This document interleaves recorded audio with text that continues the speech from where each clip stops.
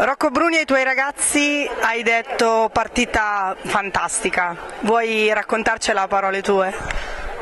Sì, è stata una bella partita e indubbiamente l'abbiamo preparata bene, per questo voglio ringraziare il mio staff, sono stati bravissimi, abbiamo fatto qualche ora di notte perché volevamo inquadrare bene la situazione e poi i ragazzi sono stati bravi, bravi a fare quello che avevamo preparato e devo veramente ringraziare tutti, quelli che hanno giocato di meno soprattutto, perché sono fantastici. Ora ci riposiamo un po' e poi continuiamo il nostro sogno. Perché alla fine avete preso a sberloni il secondo allenatore Stefano Benedetto?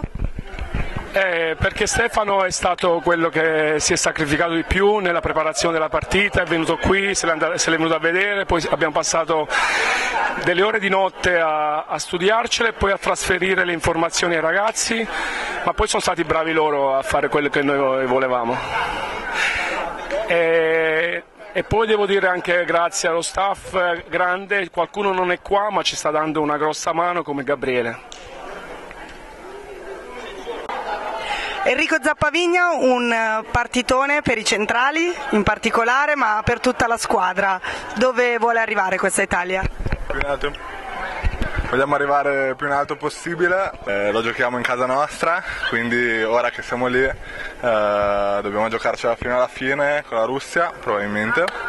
E vediamo di arrivare più in alto possibile perché abbiamo le potenzialità di giocarcela con tutti, l'abbiamo dimostrato con l'Ucraina che siamo stati sempre sopra, poi nei momenti decisivi abbiamo peccato un po' di inesperienza, però impareremo la lezione quando conta. 手際。